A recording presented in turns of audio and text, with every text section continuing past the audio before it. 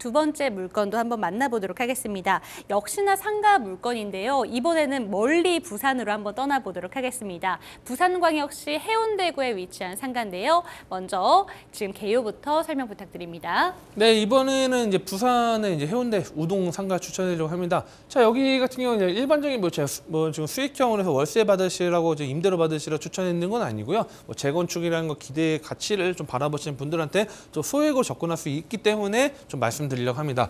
자, 해운대에서 이 동백역이 상당히 좀 메리트 있는 지역이죠. 자, 핵심 지역 중에 몇 군데가 있는데 이 동백역의 도보 약 5분 내에 위치했습니다. 물론 한 빠르게 걸으면 3분 정도인데 넉넉하게 5분 정도 잡으시면 될 것 같고요.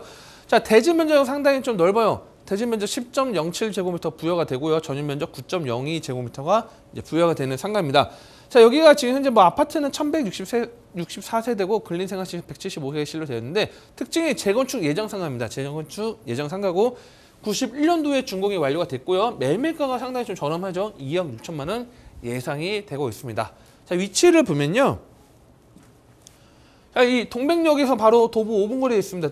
5분 거리에 있고 옆에가 이제 동백섬이죠. 여기가 동백섬이고 밑에가 이제 해운대 라인이죠. 해운대 라인에 뭐 아파 뭐 이쪽 있고 옆에 이제 주산복합으로 되어 있는데 자 여기 같은 경우는 우리가 저는 뭐 개인적으로 뭐 투자 포인트 잡으실 때 여기는 거주로도 하시는 분들도 많이 상당히 또 들어오시는 게 뭐냐면 자 이 바다를 끼고 있죠. 바다를 끼고 있는데 우리가 보면 다양한 바다는 넓어요. 우리가 삼면이 바다이기 때문에 이 바다들 많은데 뭐 서해도 있고 동해도 있고 다양한 바다도 있는데 동해 같은 경우는 우리가 저렴하게 우리가 세컨하우스로 해서 뭐 강릉이나 뭐 속초나 이쪽에 뭐 집을 하신 분도 있긴 한데 이 부산 같은 경우는 뭐, 뭐 우리가 관광지도 있지만 환경적으로 봤을 때는 우리 어떤 제2 도시죠. 서울 이후에 이제 제2 도시이기도 하고 이때 실제 가보면 앞에 뭐 주차장 같은 게 뭐 우리가 보면 뭐 고급 승용차가 아니죠. 요트들이 막 정착될 정도로 상당히 그런 편의시설들 바다를 끼고 있기 때문에 상당히 메리트가 있고요. 특히 제가 개인적으로 좀 추천해드리는 이유가 뭐냐면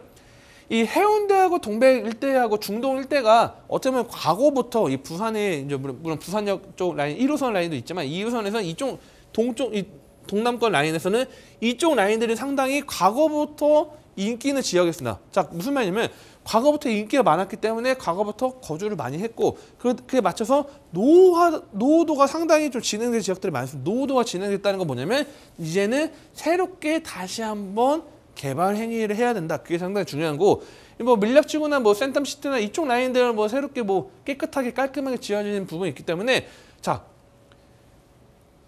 위치 다시 한번 해운대 바로 옆에 있고 왼쪽에 벡스코 벡- 센텀시티 이 라인이 있기 때문에 편의시설들 백화점 다 빠르게 또 접근할 수 있는 부분이 있기 때문에 상당히 위치적으로 좋다. 즉 반대로 하면 사업성으로 상당히 용이한 지역이다 이렇게 보시면 될 것 같고요.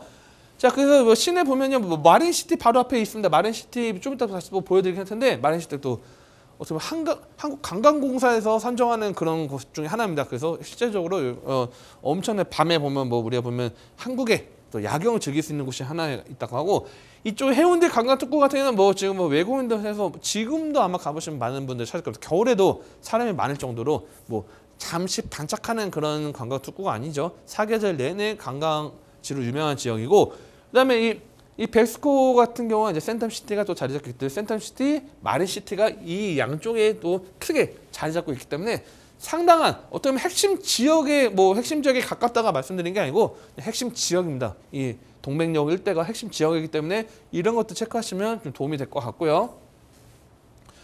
자 학군도 잘 되었습니다. 뭐 아파트 앞으로 아파트가 들어온다 하면 학군 중요한데 학군도 뭐 다양하게 뭐 전통 있는 학교들도 올해 뭐 학군들 밀집해야 있기 때문에 학군이 밀집해야 있다는 건 좀 뭐냐면 우리가 새로운 신도시 뭐좀뭐 어, 어떤 특정 지역 개발 행위를 한다면 학교들 지어지고 입주해야지 학교가 좀 더 평선되는 부분인데 이미 학교도 완성되었기 때문에 그런 것들을 뭐 걱정 없이 가면 될 것 같고 근데 세대수도 어마어마합니다. 자, 하운대 쪽에 3천 세대 있고 이쪽에 모두 세대 수 있기 때문에 주거 지역과 그다음에 관광 지역이 그다음에 왼쪽에 업무 지역이 같이 복합적으로 어울려 있는 지역이 바로 해운대다.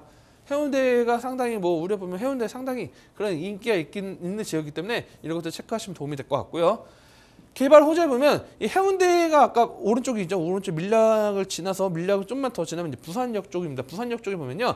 이 북항 이 밑으로 가면 아까 미단 시티가 있고 그다음에 이쪽 라인을 하면 좀 이쪽에 이제 북한 개발하는데 이 북한이 지금 재개발이 진행됩니다. 노후되다 보니까 이 2단계 재개발에서 이 항만구역과 육상과 해상 개발되고 이쪽 라인 그다음에 이 부산역 앞에 부산 진역 앞에 있죠 유지와 철도 부지까지 개- 복합적으로 개발하기 때문에 이쪽이 아니 바로 서쪽에 우리 보면 우리 지금 우동이죠 우동 바로 서쪽 라인의 개발이 크게 진행이 된다 이거를 또 하나의 호재로 보시면 도움이 될 것 같고요. 그 다음에 중동 5구역 재개발 27년 착공 예정입니다. 중동 5구역 이 중동 일대가 또 재개발이 지금 계속적으로 진행되고 있는데 이 주- 중동 일대가 또 개발되면 근사한 모습들 나타나면 동쪽과 서쪽이 계속적으로 개발이 되고 있, 는 모습들을 보시면 될 것 같고요. 그다음에 스마트 해상 도시가 2030년도 완공 예정에 있습니다. 지금 뭐 부산 엑스포 또 유치 또도 같이 뭐 희망하는 부분이 있는데 자 이에 맞물려서 해상 신도시 이게 뭐 엑스포 되고 안 되고 선정이 뭐는 되긴 좋겠지만 그걸 떠나서 스마트 해상 도시가 30년 완공을 목표로 하고 있습니다. 그래서 부산 보면 국제적인 도시이기도 부산도 국제적인 도시겠죠. 서울의 위상이 엄청나게 뭐 거의 뭐 제가 볼 때는 뭐 10대 도시 안에 들 정도로 경제적인 부분에서 상당히 위상이 크지만 이 부산 또한 상당하게 계속적으로 위상이 상승하고 있다는 것들 그래서 뭐 부산 일대 보면 뭐 외국인 관광객들 뭐 처음에는 서울을 방문하지만 두 번째는 부산을 찾을 정도로 이런 모습에 맞물려서 해상 도시 근사하게 또 2030년도 완공 예정에 또 기다리고 있고요. 근데 오페라 하우스도 26년 개관 예정이 있습니다. 그래서 이 북한 일대 오른쪽 라인에서 이쪽 오페라 하우스도 개관이 좀 기다리고 있다는 것도 근사하게 또 하나의 호재로 보시면 도움이 될 것 같고요. 자 여기 같은 경우는 지금 뭐 91년도 준공 완료가 됐습니다. 준공 완료가 됐는데 여기가 지금 이제 상당히 뒤 아파트 재건축 좀 추진을 하고 있고요. 기본적으로 그런 다음에 위치적인 부분이 상당히 유리하기 때문에 어떻게 보면 80년대 아파트도 위치가 좋지 않은 지역들은 그대로 있어요. 근데 위치가 좋기 때문에 그다음에 또 중요한 거는 이 뒤에 아파트 단지들이 주차 대수가 두 대를 될 정도로 엄청난 대지 면적을 자랑합니다. 자, 그만큼 대지 면적이 엄청 넓기 때문에 용적률이나 그런 것들이 유리하기 때문에 재건축이 가능하다는 거죠. 빠르게 그렇기 때문에 이런 것들이 맞물려서 상가 재건축 같이 이제 통합으로 이제 보면 될 것 같고, 자 실제 조감도 모습도 한번 체크하시면 좀 도움이 될 것 같고요. 가격적인 부분 좀 풀어드리면요.